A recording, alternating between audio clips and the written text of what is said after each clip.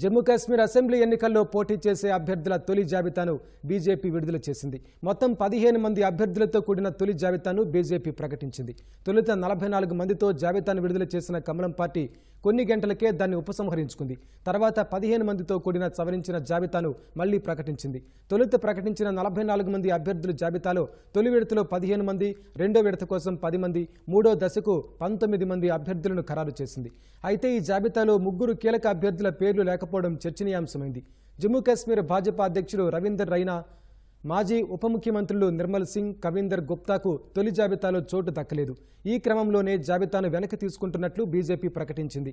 కాసేపటికే పదిహేను మందితో మళ్ళీ జాబితాను విడుదల చేసింది. ఆర్టికల్ త్రీ సెవెంటీ రద్దు తర్వాత జమ్మూ కాశ్మీర్ అసెంబ్లీకి తొలిసారి ఎన్నికలు జరగనున్నాయి. సెప్టెంబర్ పద్దెనిమిదిన తొలి విడత సెప్టెంబర్ ఇరవై ఐదున రెండో విడత అక్టోబర్ ఒకటిన మూడో విడత పోలింగ్ జరగనుంది. అక్టోబర్ నాలుగున ఓట్ల లెక్కింపు చేపడతారు.